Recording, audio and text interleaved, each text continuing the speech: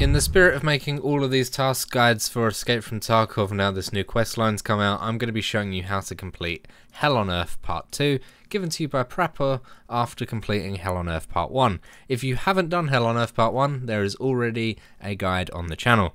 Hell on Earth Part 2 requires you to use the short barrel double barrel shotgun that you created in Hell on Earth Part 1 to go out and kill three hooded men with the double barrel shotgun. And the hooded men, in case you don't know, it sounds pretty obvious, but some people might not, it is a cultist. Cultists can be found on woods, customs, and shoreline. On customs, it's probably the easiest place to find them because they spawn in one location and it is the smallest map of the three, and that is right by Stronghold.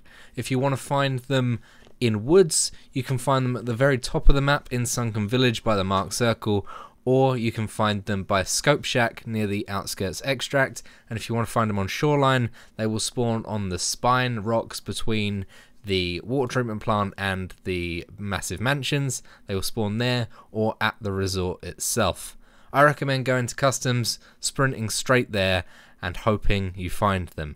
They will try and knife you first, so it gives you a good opportunity, but I'll shoot an AP20 into them and Trust me, they're not easy to kill. So good luck. You only need to kill three of them, but it's not the simplest quest to complete, and you certainly won't get it done in one raid. I don't reckon unless you're really lucky.